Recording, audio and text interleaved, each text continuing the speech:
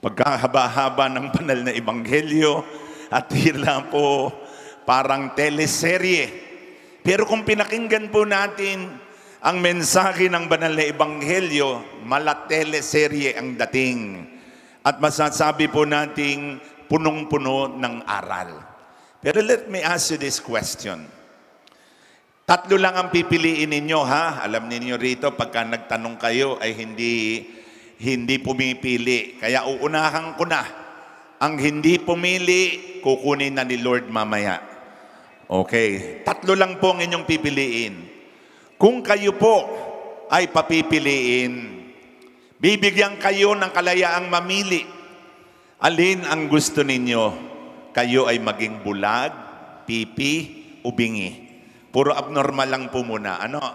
Tingnan po natin kung sino po ang pipili sa mga bingi. Sinong gustong maging bingi? Tatlo lang ang pipiliin ninyo, ha? Tatlo lang, ha? Inuulit ko, ang hindi pumili, kukunin na ni Lord. Sinong gustong maging bingi? Taas ang kamay. Ayan, merong isa, dalawa, tatlo, apat, lima. Ayan, may parada kayo bukas sa Patio Rizal, parada ng mga bingi. Ano? Biro lang po. Pero sino po ang gustong maging pipi? Ayan, hala kayo, pumili na kayo. Hala, pag hindi kayo pumili, bahala kayo. One, two, three. Ayan, okay. Pili na. Okay. Sinong gustong maging bulag? Ah, ay talagang gagalitin ako linggong-linggo. Tatlo lang ang pipiliin. Tatlo! Bulag, pipi, bingi. Pumili na kayo ron. Hindi mangyayari sa inyo. Gusto ko lang makita. Ulit. Titigas ng ulo nyo. Naintindihan ba yung tanong ko o wala kayong isip? Wala kayong isip? Okay, tatlo lang ang pipiliin. Bulag, pipi, bingi. Okay, ulit. Sino ang pipili sa maging bingi? Ayan, nadami na ha. Tatlo lang ha. Ha? Okay, sinong gustong maging pipi? Ayan, dumadami na ha. Sinong gustong maging bulag? Ay talagang ang tigas ng ulo. Ako, ako'y, ang pumili lamang ay 20%. Hindi po ako titigil. Kung matigas ang ulo nyo, mas matigas ang ulo ko. Kailangang pumili kayo. Life is a choice. Bilang ko yung hindi tumataas ng kamay. Okay.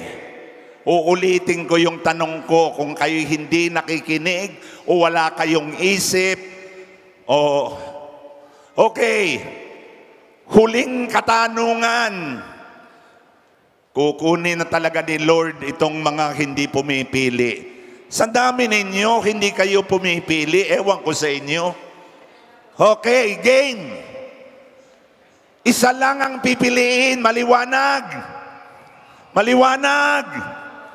Gagalitin kay mga buslog. Okay. Sino ang pumipili na maging bingi? Ayan, bingi. Pag gumingi ng gapas, bibigyan ng gatas. Ayan, mga bingi. Okay. Sino ang gustong maging pipi? Ayun, dumami na. Oh. Pero dun sa ano, marami, marami dyan ang kukunin ni Lord dyan sa tabi. Hindi pumipili, bahala kayo. Yung mga hindi pumili, nakaw, sige lang kayo. Pagka isinisin nyo sa akin yan, ay hindi kayo pumili eh. Wala akong magagawa sa inyo. Sinong gustong maging bulag? Mm-mm, talagang nakaka-imbier na itong mga taong ito. Sa isang linggo na lang ako magsesermon. Sa ngalan ng Ama, ng Anak, Espiritu Santo. Amen. Okay. Sige na, ayoko na magsermon. Wala kayong, ano, wala kayong pakisama. Ano? Pipili kayo o hindi? Ipapatuloy ko na ang misa. Oh. Okay, madaling kausap para tayo tapos agad. Pag ganyan ang audience ko, ay tamad na ako. Okay? Sige, ako'y ah, madaling kausap, ay di sa isang linggo na lang ang sermon ko dahil hindi ko gustong audience. Okay? Tumayo na po tayong lahat. Upo na uli. Sinusubukan ko lang kayo. Ang galing, ano? It's a prank. It's a prank. Okay, kung ayaw niyong pumili, hindi ko na kayo pagtsatsagaan. Ba't ako magtsatsaga sa inyo? Yung mga wala kayong kwenta. Pasensya na, pero wala talaga kayong kwenta. Sa dami ninyo, ang nagtaas lang ng kamay, siguro wala pang dalwandaan. Hmm? May mata ako. Lima ang mata ko. Oh. So, siguro, ayaw niyong pumili dahil baka gusto, kayo ay natatakot na maging bulag, maging pipi, maging bingi. Pero doon sa tatlong nabanggit ko, siguro, pag pinili ninyo ay maging bingi, comedy ang dating. Pinagtatawanan natin. Katulad nung kapatid ko, bumibili ng sigarilyo doon sa may balik-balik. Sa tindahan ng pabili nga po ng ah, Malboro. Ha? Pabili nga po ng Malboro. Ayan, nilaksanan niya. Hindi ako bingi. Ilang hope. Ay, nako, Diyos ko. Bingin-bingi nga. Mga kapatid, bingi, nakakatawa. Pipi, hindi masyadong nakakaawa. Pero yung bulag, nakakaawa. Pag nakakita kayo, nangangapa sa kadiliman, yung mga, mga bulag na totally cut off from the Word. Sabi nga ni Freddy Aguilar ay, Madilim ang iyong paligid, hating gabing walang hanggan, anyo at kulay ng mundo, sa'yo ay pinagkaitan. Huwag mabahala kaibigan. Pwedeng pumalakpak ng... Ayan, mga kapatid. You can just imagine the blindness, the darkness of the blind man that he is experiencing. Totally cut off from the beauty of the Word. Hindi nakakapanood ng teleserye. Hindi nakakakita ng maganda. Hindi nakakakita ng pugi. At masasabi natin, they believe that they are totally cut off from God sapagat ang paniwala nila ang mga bulag na isinilang ay makasalanan. Naniniwala sila na ang kabulagan ay parusa lamang dahil sa kanilang mga kasalanan. Pwedeng personal na kasalanan o kasalanan ng mga magulang. Kaya naman, ano ang ginawa ng Panginoon? Well, kumuha siya o dumura muna sa lupa, gumawa ng putik, inilagay sa kanyang mga mata, at sinabi sa kanyang maghilamos sa ilog ng Siluwe, nang ibig sabihin ay isinugo. At ano po ang senaryo doon sa banal na ebanghelyo? Ang senaryo po sa banal na ebanghelyo ay eto po. Araw ng Sabat. Bawal gumawa ang tao. At napakalegalistic ng mga eskribat at pariseyo. Bawal maghinuko, bawal magpagupit, bawal mag-ahit ng balbas. Aba, ay talaga pong ah, bawal ang lahat dahil ito ay araw ng pamamahinga. Pero ang ginawa ng Panginoon ay hindi nagustuhan ng mga eskribas at pariseyo. Kaya sabi nila, hindi galing sa Diyos yan. Yan ay gawa ng demonyo. Pero ang kagalingan ay naranasan ng lalaking bulag. Mga kapatid, gusto ko lang pong i-highlight ang limang aral ng banal na ebanghelyo. Number one, ang tunay na nagpapagaling ay ang Panginoong Diyos. Amen? Pero meron po siyang ginagamit. Pwede siyang gumamit ng instrumento katulad ng langis, katulad ng laway.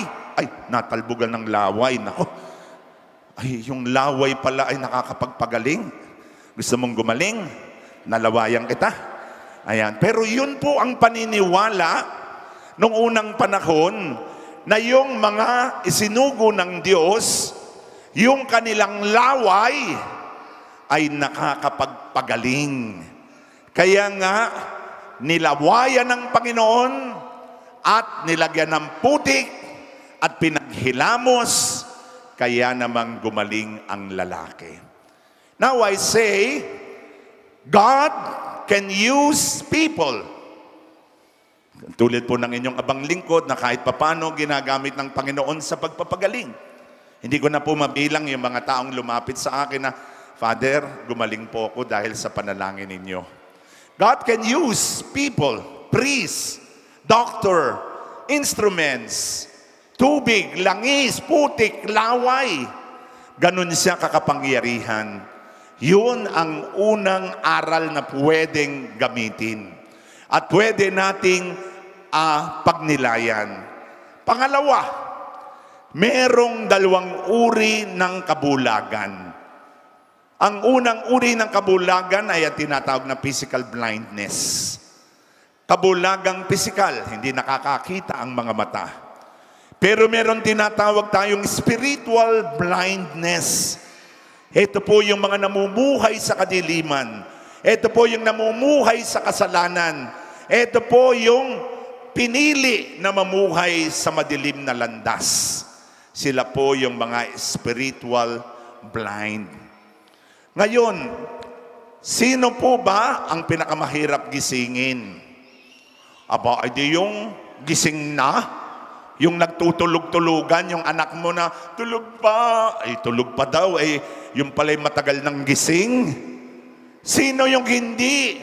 Gagaling ang kabulagan yung mga nagbubulag-bulagan, yung merong mga mata pero nakakakita. Yan ang hindi na gagaling. Yung lalaking bulag who is experiencing physical blindness was healed instantly. Gumaling agad. Pero ang kanyang spiritual blindness ay dahan-dahang naganap sa kanya merong development. Nang tinanong siya, sino yung lalaking yan? Sabi niya, yung pangalan po, yung lalaking ang pangalan ay Jesus. The man called Jesus. Yun ang unang sinabi. Maya-maya tinanong uli siya ng pariseyo, sino nga yung nagpagaling sa iyo? At sabi niya, He uh, pronounced Jesus as the prophet. He proclaimed Jesus a prophet.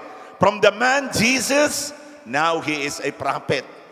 At sa bandang huli muli siyang tinanong, sinong nagpagaling sa iyo? He worshiped Jesus as Lord.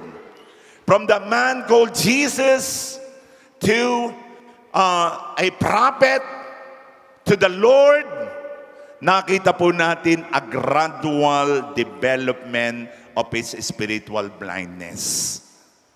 Mga kapatid, sino po ang tunay na bulag? Ang tunay na bulag ay ang mga pariseyo. They memorized the Bible. They knew the Bible very much. Pero ano po ang nangyari? Well, they don't believe in Jesus. They have met the same Jesus, the same miracles, the same proclamation, the same messages, but they did not believe who Jesus was to the great spiritual loss. They heard and they saw Jesus as if they have never heard, they have never seen Jesus. They encountered Jesus without encountering Him personally. They heard, they have seen Jesus, but they did not hear or see the message of salvation that is at hand. Hindi nila nakita ang mensahe ng Panginoon ng kaligtasan sapagkat sila'y bulag. They decided to become blind because they don't want to believe that Jesus is the Messiah. Pangatlong mensahe mga kapatid, if you try to look at the Holy Gospel, marami pong mga meetings, encounters with Jesus. And with all the encounters of Jesus, the meeting with the Lord, there are five myths. Ano po yung limang myths? Number one is admit. Second is permit. The third is commit. The fourth is submit. And the last one is transmit. Let me explain. Admit. Kapag ikaw ay natagpuan mo ang Panginoon, you begin to realize that there is something wrong with you. Kaya sabi ng bulag, there is something wrong with me. I cannot see. I will approach the Lord. Admit that there is something wrong with you. Second, permit. Permit the Lord to be the Lord and Savior of your life.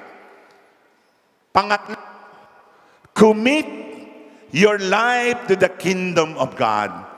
Pagkatapos na ah, hayaan ang Diyos na manguna sa buhay bilang Panginoon at Diyos, ngayon ay magpapasailalim siya sa kanyang mga itinuturo. Ikaapat, submit to the will of God. Kapag ang isang tao ay nakainkwentro ang Panginoon, handa na niyang tanggapin ang kalooban ng Diyos. Masakit man. Ito man ay ah, nangangahulugan ng paghihirap, nangangahulugan ng pagpapasakit, they submit to the will of God. At pagkatapos na masabi nating they admit, they permit, they commit, they submit, the last one is transmit. They transmit the message of Jesus. Kaya nung ginawa ng lalaking bulag, sino ba yung nagpagaling sa iyo? Hindi ko po alam. Pero isa lang ang alam ko. Ako po ay dating bulag, pero ngayon ay nakakakita na ako. Now I believe that He is our Lord and Savior. The fruit of healing is evangelization. Ang tunay na bunga po ng pagpapagaling ay ang pagigandang balita. Wala ho akong way para malaman kung ilan yung gumaling na rito sa kamay ni Jesus. Pero hindi po lahat ng gumaling ay bumabalik dito para magpasalamat.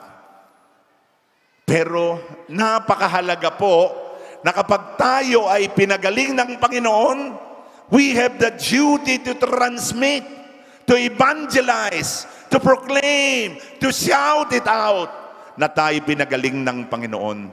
Ito po ang ginawa ng lalaking bulag.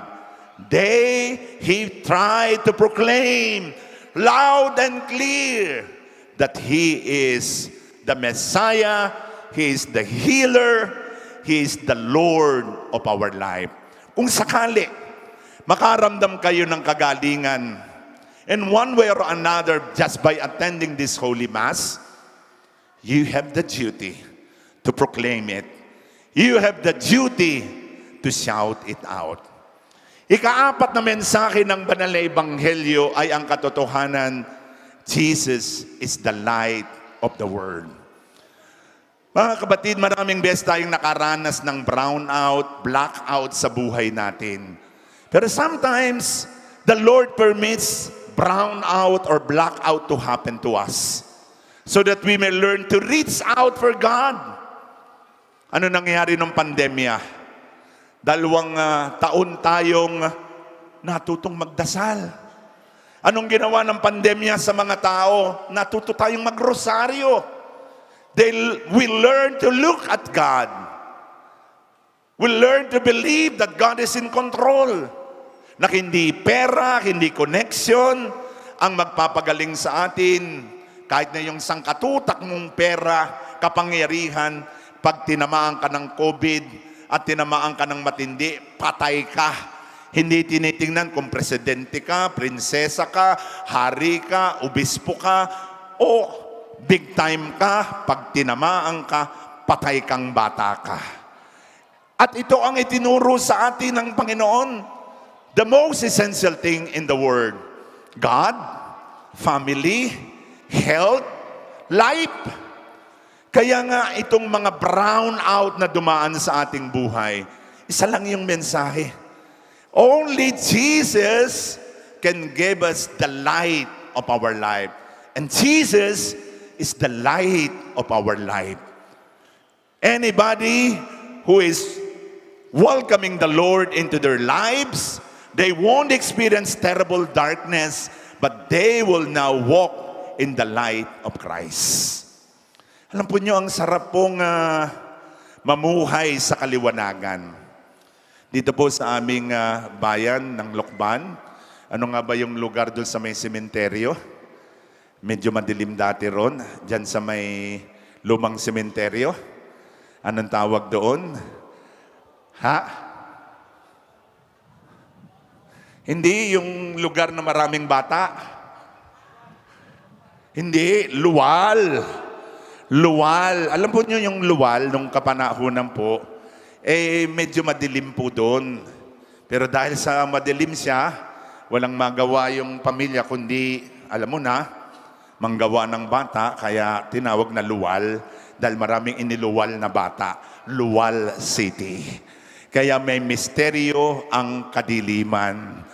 Pero yung kadiliman na bumabalot po sa atin, may kakambal po yung liwanag.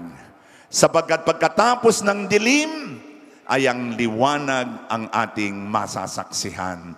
Kaya naman, ito pong ating ah, ikalimang mensahe ng banal na ebanghelyo ay ang katotohanan that we have to use another eyes. Pag ito pong aking ah, salamin tinanggal ko, hindi ko kayo masyadong makita. Merong itim na buhok, ganda ng tato, ayan. Merong ah, ah, puting buhok, may brown na buhok, may arabuhok, ah, may tagasaypan, saypanot, eh, eh, mayroong syagi, sa gilid na lang tinutubuan. Pero pag isinuot ko po itong aking salamin, pati ngalangalan nyo kita ko, pati ngipin ninyo kita ko. And I believe we have to use another eyes. The natural eyes must give way to the supernatural eyes. And that supernatural eyes is the eyes of faith. Mata ng pananampalataya. Kung meron tayong mata ng pananampalataya, well, kahit na ang pinakamadilim na bahagi ng buhay natin, mata, iintindihan natin. We begin to understand the meaning of life, the meaning of suffering, the meaning of Good Friday. Kapag tayo ay gumamit ng mata ng pananampalataya, then we can see God. Even in the greatest loneliness, even in the greatest brownout in our life, makikita mo ang Diyos sa mukha ng asawa mo. Makikita mo ang Diyos sa mukha ng bianan mo. Makikita mo ang Diyos sa mukha ng katabi mo. Tingnan mo nga ang katabi mo. Tingnan po ninyo. Tingnan po ninyo. Ayan. Nakikita po ba ninyo ang Diyos sa katabi nyo? Sabi, Diyos ko, ibang nakita ko. Pero sana po, we have another eyes so that we can see God in the face of our loved ones, in the events that are transpiring in our lives, na makita natin ang mukha ng Diyos sa galaw ng pangyayari. Ito po ang ating samo at dalangin ngayong araw na ito. Lord, heal my spiritual blindness so that I can see you in the face of our loved ones, in the face who are lonely, who are suffering, who are wounded, who are sick, that I may see you, Lord, in the face of the beggar, that I may see you, Lord, in the face of the, the last, the lost, the lonely, and those people who are suffering. Sana po pare-pareho tayong bigyan ng Diyos ng mata na makita ang kanyang mukha. Lord, heal our spiritual blindness so that we can see you in the world that we are living. Makita po sana namin kayo kahit sa kadilim-diliman ng buhay namin. Makita namin kayong kasama namin sa aming buhay ngayon at magpasawalang hanggan. Amen.